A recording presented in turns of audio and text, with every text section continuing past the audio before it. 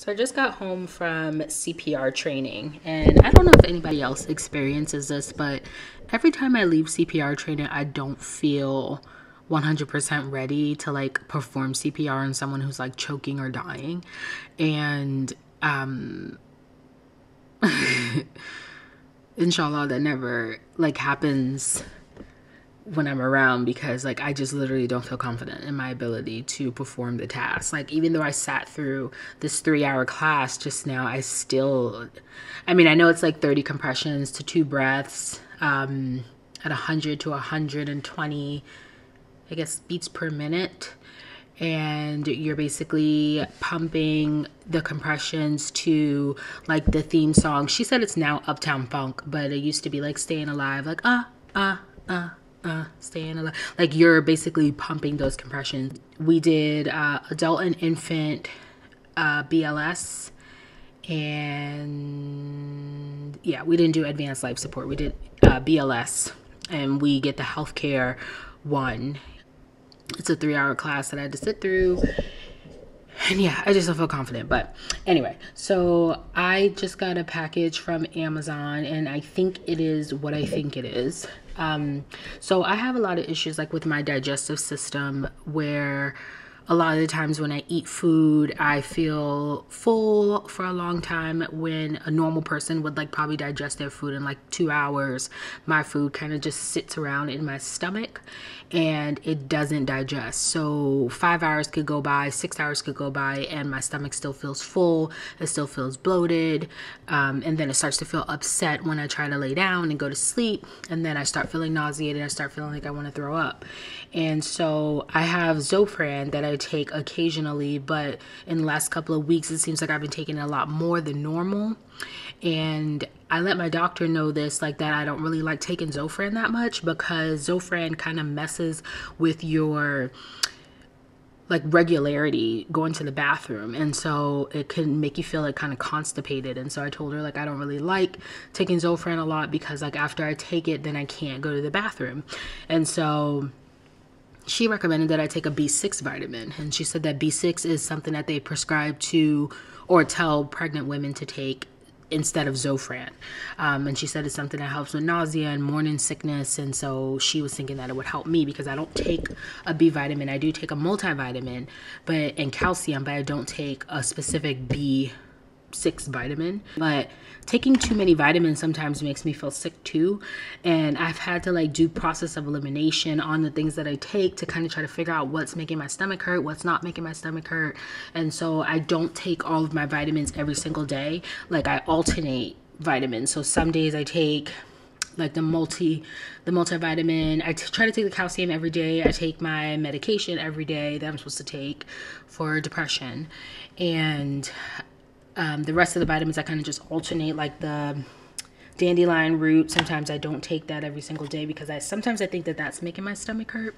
But anyway, this product that I got, I got it on Amazon. And I'm kind of worried about it because it's a powder and it's called Soothe. And it's basically for nausea and for mood. Uh, the flavor is raspberry lemon. It does have vitamin B6. It's got 25 milligrams of vitamin B6 in it. Um, when I was looking online, it said that pregnant women usually take between 25 milligrams and 50 milligrams to help with nausea. And I saw that uh, B6 can also cause nausea if you're taking too much. So I saw like on Amazon, there was like 100 milligram tablets, 200 milligram tablets, 500 milligram tablets. It's got magnesium in it, 200 milligrams. And then it's got a Soothe Support Blend, 650 milligrams. I don't know what the Soothe Support Blend is um, but it also has ginger root and GutGard in it. You're supposed to mix eight ounces of it in water, stir, and dissolve. And then it says to use as needed. This is a pretty small bottle. It's pretty small. Yeah. Um, it is sealed. It sounded like it was sealed before I went over it.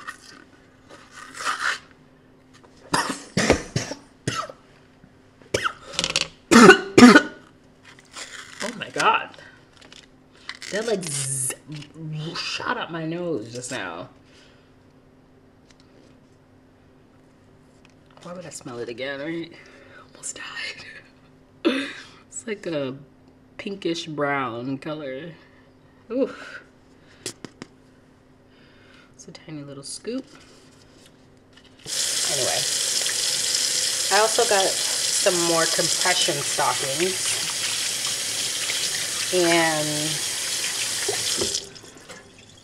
if you guys know me, I think I've mentioned this before, but I like suffer with edema in my ankles. And so I have to wear compression stockings all the time when I go to work and when I go out of town and just basically every single day of my life is compression stockings. And so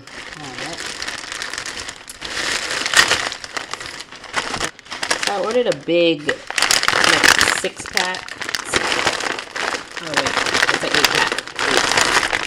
So they're all the same. And I get the I'm it's kind of bad that it doesn't say on the pack. It makes me think that it's not actually the right compression because I get the 20, I think it's 2030 compression, the firm, but it doesn't even say like firm on the pack.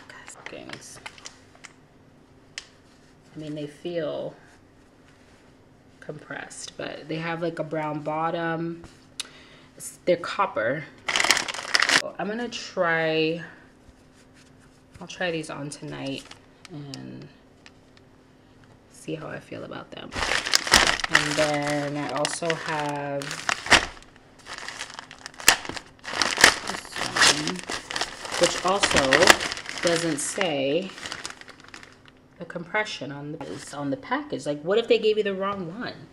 Like this one feels feels stiff too, but anyway, this one has like a little bit of gray on the bottom of the foot. I know these are still black, like they're they're still black, like the ones I have on, but the ones I have on are just all black all around. Like these have little gray at the bottom, gray at the top, so they're a little bit different, but yeah, see how I like them because I don't have no problem with sending nothing back to Amazon. I will definitely send this shit back. I should, I should compression like it's supposed to compress.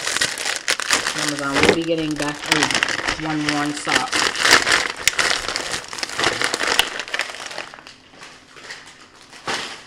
Yeah, they don't know it yet, but they, they will definitely be getting back a one worn compression stocking. Okay. Anyway. Oh, before I go, I wanted to show you guys my vitamins. I don't know if you want to see them, but so I have the Women's Alive gummies. They're gummies. I don't like taking pills if I don't have to. I try to get gummies, and these are these take some getting used to, but they're really good. They're shaped like little grapes. And then I do the Alive calcium and D3. When you're on Depo birth control, you have to take calcium. And so they look like little gumdrops. These also take some getting used to. Like the taste is kind of like, you have to get used to the taste. And then sometimes I take ginger. This doesn't really help my stomach too much. I got, and it's 1,100 milligrams and it still like doesn't really work. So crazy. I've got turmeric and uh, how do you say this? Curcumin, curcumin. And of course, Women's Daily Probiotic. It's for vaginal and digestive health. This doesn't really help my stomach, but it does help kind of sometimes keep you a little bit regular. And so this is good to take I also take horse seed extract. I'm supposed to be taking this every day for my edema, but it wasn't really working. Um, I find that it works better when I'm like out of town or catching a flight. And so I like take this before I get on the plane and I take it while I'm out of town because the change in temperature makes my ankles swell. And then I also have this Refresh. It's for vaginal health. And I have two bottles of Zofran right now.